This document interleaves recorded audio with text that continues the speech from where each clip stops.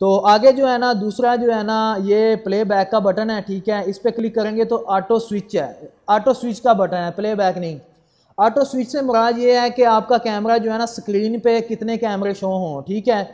एक कैमरा चले, पाँच सेकंड के बाद दूसरा आए, पाँच सेकंड के बाद तीसरा आए तो जो है ना, इसको कहते हैं ऑटो स्विच ठीक है? अगर इस पर क्लिक करेंगे तो सारे कैमरे जो है ना बारी बारी चलना शुरू हो जाएँगे, ठीक है? तो मैं ये देखें।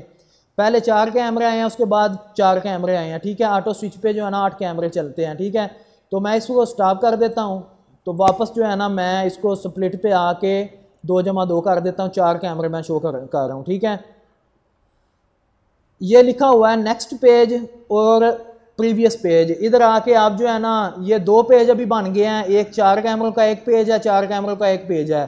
तो हम इधर से जो है ना नेक्स्ट पेज पे क्लिक करेंगे तो अगले चार कैमरे आ जाएँगे। प्रीवियस पेज पे क्लिक करेंगे तो पिछले चार कैमरे आ जाएँगे